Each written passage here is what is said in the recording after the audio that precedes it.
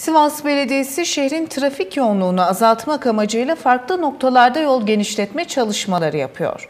Bu kapsamda Gazi Lisesi kavşağında da battı çıktı çalışmalarına başlandı. Trafik yoğunluğundan dolayı kazaların sıkça yaşandığı güzergahlardan biri olan Gazi Lisesi kavşağında battı çıktı çalışmaları başladı.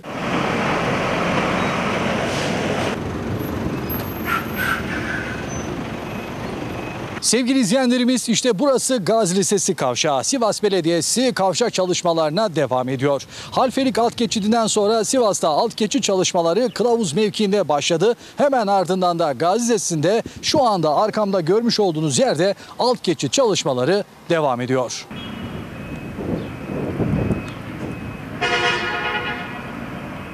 SRT Haber ekibi de geçen hafta ihalesi yapılan Gazi Lisesi kavşağında başlayan çalışmaları yerinde inceledi.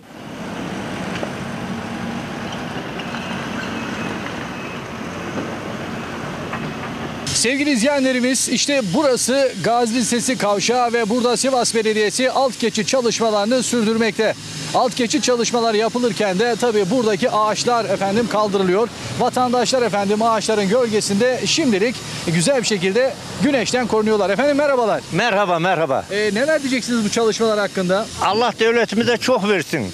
Çok iyi. Burası sıkı. Şu Kaza oluyor. Alt Evet. geçit yapılırsa çok iyi. Ne güzel. Peki teşekkür ediyoruz. Sağ ol. Yapsın devlet. Geri ağaç dikilir.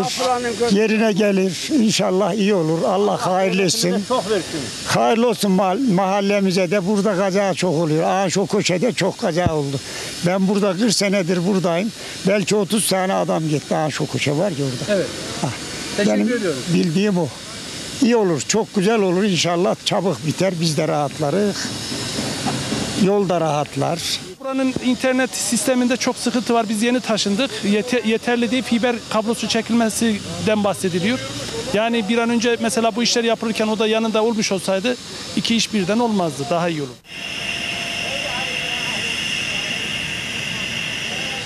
Sevgili izleyenlerimiz işte burası. Görmüş olduğunuz gibi Sivas'ın en hareketli kavşaklarından bir tanesi Gazi Lisesi kavşağı. Ve burada her geçen gün kazalar artıyordu. Ve bu kazaların artmasından dolayı da vatandaşlar bu bölgede artık bir alt geçitin yapılma talebi gündeme gelince Sivas Belediyesi de böylece burada bir alt geçit çalışması başlattı. Alt geçit efendim şu anda görmüş olduğunuz karşı yoldan gelen arabalar yerin altından geçerek Diğer taraftan şu anda göstermiş olduğum taraftan çıkıp gidecekler ve böylece üst geçit olduğu gibi dururken alttan geçen arabalar da rahat bir şekilde trafikte yerlerini sürdürecekler.